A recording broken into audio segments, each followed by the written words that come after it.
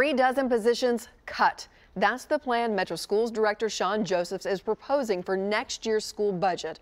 But there could be some hope for those employees. More than two dozen positions are set to be added. News Channel 5's Jason Lamb joins us outside the Metro School Board meeting.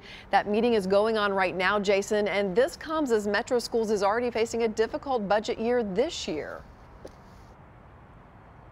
That's right. And the question now is how many of the people in those positions that are slated to be cut next year are going to be qualified for or receive some of these new positions that are going to be added? That's a question that we will have to wait to find out. But here is the bottom line Metro Schools Director Shawn Joseph is proposing to cut 35 and a half positions for next school year. That includes 12 family involvement specialists and seven social workers. There are 29 positions proposed to be added added to the budget, including four community engagement specialists and four social and emotional learning specialists, among other positions.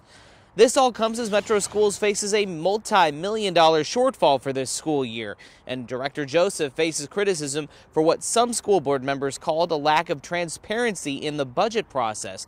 Those school board members are now calling for an audit. If you want to take a look at the budget, the draft budget that has been proposed. You can find it right now on our website, newschannel5.com. And there will be some chances to make changes to this proposal, both here at the school board and at Metro Council's level.